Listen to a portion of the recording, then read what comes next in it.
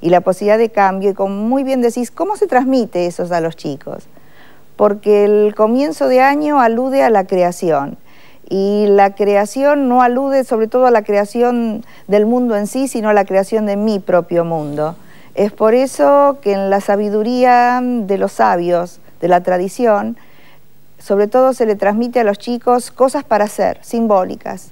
Escuchar el shofar, que es el reloj despertador, que te despierta de la rutina cotidiana para ver dónde estás muy bien vos nombraste Cartisei Brajá, que son tarjetas especiales que en la vamos época... A, vamos a aclarar a la gente que nos ve que el shofar es ese cuerno de carnero que se, claro hace que sí, en, los templos y eso es lo, digamos, para despertar el alma, ¿no? Claro, el cuerno de carnero que surgió como una manera de llamar en la antigüedad y que se fue resignificando, porque el judaísmo tiene la posibilidad constante, es que no es no tenemos sagradas escrituras, tenemos lecturas. Y la lectura es lo que hace que se vaya, en cada generación, se vaya dando el sabor de ese saber que se va transmitiendo de generación a otra. Y los chicos que están aquí están haciendo esas, esas tarjetas, esas tarjetas de deseos para el año nuevo, y que es un valor, hoy en día es un valor afectivo. Es algo para desearle al otro, ¿qué quiero para este año nuevo? Siempre reflexionando acerca de uno mismo, en qué quisiera yo cambiar y desearlo al otro lo que haga. Por supuesto que en la época del mail, del teléfono, de tanta comunicación, también de tanta incomunicación, hay valores afectivos que permanecen. Y vos me preguntaste por los Cartisei Brajá, el chico tiene la posibilidad de expresar ahí su mundo, el mundo, sus significados, lo que él vivió en la fiesta. Jaya, ha sido un placer, como siempre lo es, conversar contigo y esperemos que haya ayudado a muchos sumar nuevas explicaciones y nuevas visiones. Muchas gracias. Nosotros tenemos que seguir en el programa y vamos al encuentro de Alberto Rottenberg, que, como siempre, también nos trae su visión. Alberto, bienvenido. Gracias. Y me imagino que, en el programa de hoy seguimos con, con Rosh ¿no? Sí, exactamente. Eh, nosotros ahora estamos frente ya a Rosh Hashanah y esto me recuerda a un cuento que leí hace pocos días del Rab Shlomo Miseraj, Miseraji de la comunidad Miseraj, donde decía que había un grupo de amigos que se juntaban siempre, todas las semanas se juntaban y un día uno de ellos llegó este, un poquito tarde y después ya directamente no apareció más. Todos se sorprendían qué habrá pasado con él y uno dice, déjame voy a ir a la casa, voy a averiguar. Fue un día que hacía mucho, pero mucho frío, entró, el amigo lo recibió, no dijeron una sola palabra y se sentó al lado de una hoguera, de un fuego, porque hacía mucho frío para estar calentito. Este amigo vio que estaban todos los leños encendidos, muy rojos, con mucha luz, con mucho calor, y tomó una pinza, digamos, de metal y aportó uno de los leños a un costado. Y de pronto ese leño comenzó a apagarse, a ponerse negro, a ponerse toda la ceniza arriba este, de ese carbón. No decían una sola palabra, se miraron, el amigo volvió a tomar la pinza, volvió a juntar el leño, que en ese momento era negro y con ceniza, y volvió rápidamente a tomar color, a encenderse, a ponerse rojo con el calor y la luz de los otros leños. Y sin decir una sola palabra más, se levantó y se fue.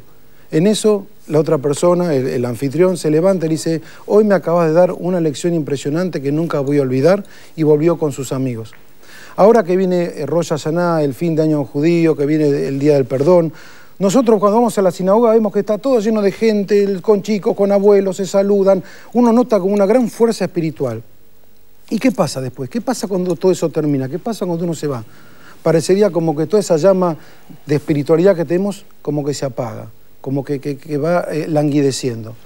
Entonces, nosotros tenemos que proponernos ahora, en esta oportunidad, que el próximo año esa llama no se apague, que esa llama no baje, que podamos seguir viviendo en comunidad, que podamos seguir yendo a la sinagoga, dedicando un tiempo al estudio, dedicando a compartir las festividades. Y así va a tener un sentido muy lindo este saludo que siempre decimos, que es Yaná Tobau un año bueno y dulce. ¿Y por qué decimos año bueno y dulce? Porque uno dice, bueno, un buen año ya está, ya alcanza, pero dulce, ¿qué quiere decir? ¿Por qué es también dulce? En realidad es bueno porque Dios siempre, lo, siempre quiere lo mejor para nosotros. Siempre quiere que todas las cosas nos salgan bien. Pero a veces, ¿qué pasa? A veces en la vida nos toca pasar pruebas difíciles, momentos de angustia, con el trabajo, con la familia, y en el momento estamos enojados, ¿por qué me pasa esto a mí? ¿Qué hice yo? ¿Por qué me tocó? ¿Qué sé yo? Pero después uno se da cuenta que eso te sirvió para crecer como persona, te sirvió para avanzar. Y, y para cerrar este comentario tan lindo, voy a contar un cuento de 10 segundos. Había una vez un rabino que fue con otro muy importante que ya conocemos, Eliyahu Naví, que los nombramos siempre en Pesach, Y ellos estaban caminando y Eliab una dijo, vení, acompáñame que te voy a mostrar algo, pero prometeme que no vas a abrir la boca ni me vas a preguntar nada. Bueno, pero no puedo preguntar nada. No, no, no podés preguntar nada. Van a la casa una gente que todo lo que tenían en su casa era una vaca. Eran pobres, una familia con chicos, no tenían para comer nada. Los invitan a pasar, vengan, pasen, le dan de tomar la leche, ordeñan a la vaca en el momento, se quedan a dormir y se van. Entonces le dice ahí Eliabo Naví, ¿sabes lo que vamos a hacer ahora? Vas a agarrar un arma y vas a matar a la vaca. No, ¿cómo vamos a matar a la vaca? Eso es una barbaridad, si es lo único que tiene la gente para vivir. ¿Quedamos que no me preguntabas nada? Bueno, no pregunté nada, agarrar un arma y liquidar a la vaca. Bueno, hace lo que le dijo, fue, mató a la vaca y se terminó. Y años más tarde, esta misma persona pasa por la casa pregunta, ¿qué habrá sido esta familia pobre que se quedaron sin nada? Ah, ¿querés saber? Sí, mira, acá cuatro cuadras hay un chalet espectacular en la esquina, están viviendo dos ahí. Dice, ¿cómo un chalet? ¿Ququé pasó? Y ahí le explicó Eliabunaví. ¿Sabes lo que pasó? Esta gente tenía la vaca, nadie se movía, los hijos no trabajaban, el padre no salía a hacer nada, se conformaban por contener la vaca atada. Cuando la vaca ya no la tuvieron más, cada uno tuvo que salir a hacer sus propios méritos, su, propio trabajo y así pudieron crecer. Por eso yo tengo este deseo para nosotros, para todos los argentinos, que realmente este año lo usemos para merecer las cosas, lo usemos para trabajar, para crecer espiritualmente y así tengamos una verdadera sanato, Baumetucat todos.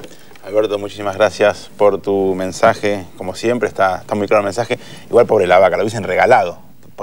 Pero bueno, el mensaje, el mensaje es lo que, lo que importa y te pido que te quedes porque tenemos que despedirnos y vamos a hacer un anuncio importante para, para todos ustedes con respecto a cómo afectan estas festividades en la visita a los cementerios. Con las festividades que estuvimos comentando, del 18 al 20 de septiembre no se puede ir al cementerio, eh, a ninguno de los cementerios, mucha gente va al cementerio de Tablada, ni del 27 de septiembre al 19 de octubre. Y esto lo decimos porque el domingo 18 de octubre es el Día de la Madre y muchos van ahí a, recordar a, la madre que ya no está.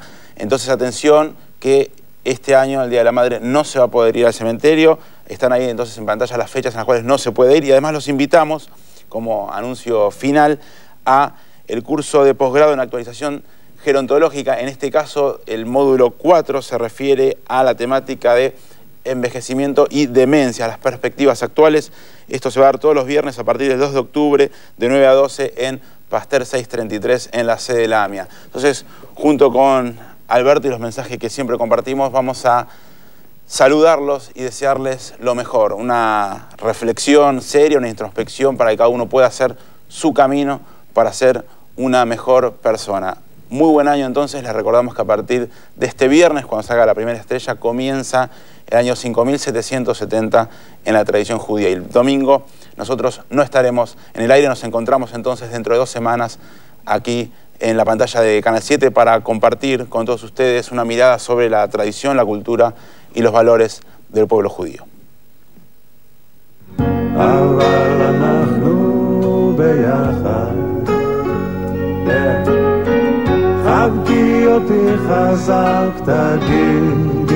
כן.